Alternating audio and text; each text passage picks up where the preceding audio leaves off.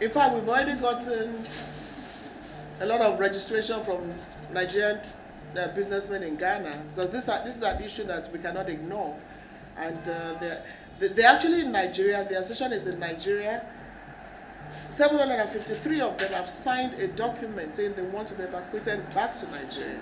Now, their petition, their document is with three ministries the Ministry of Foreign Affairs, Ministry of Trade and Investment, and the Ministry of Interior to decide on the next steps.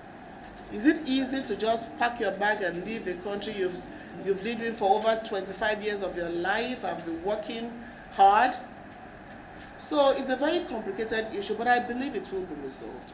So the three ministers are working on the request by the traders, and we as NIDCOM are even saying that we have about six big banks in Ghana. While this process is on, they should also be able to help the traders that are affected. So we're engaging with some of these big Nigerian institutions in Ghana, but we're optimistic that this matter will be resolved. Somebody just called me and said, well, I heard your point, but is a law against foreigners to pay $1 million for retail. We also know that laws are made by men.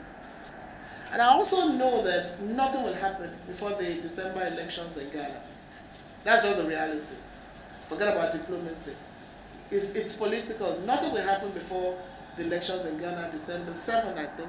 But in the meantime, our traders are being engaged by the three key ministries, and I believe that, as we said earlier, this week, next week, the engagements will continue, so that can be a win situation for the Nigerian traders in Ghana.